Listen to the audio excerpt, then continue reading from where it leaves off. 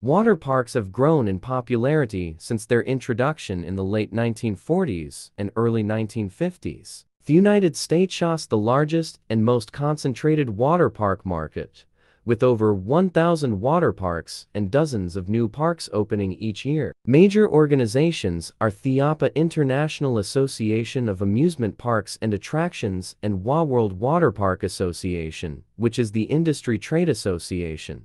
Water parks which emerge from spas tend to more closely resemble mountain resorts, as they become year-round destinations. For example, Splash Universe Water Park Resort is themed to match the community in which it is located. The theme is intended to enhance the community's destination appeal. Therefore, the amusement and leisure time industry is becoming more concentrated, as winter sports are becoming common themes in summertime water recreation.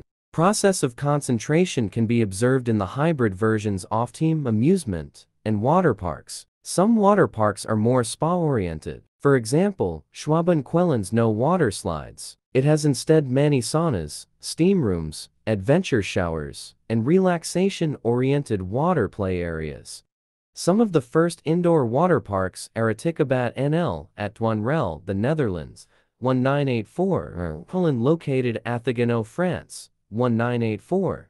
The Aquamundo at Center Parcs de Eemhof, located at Sewell, the Netherlands, 1980, and Alpamare Fiken Switzerland, 1977. Tropical Islands Resort Germany, with an area of 66, 000M 2710, 418 scuffed, is in 2016 the largest indoor water park in the world. In 1986 World Water Park was opened in Edmonton, Alberta, Canada, at Thewest Edmonton Mall, 910. It is in 2016 the largest indoor water park in North America. Sandcastle Water Park in Blackpool, England, which opened in 1986,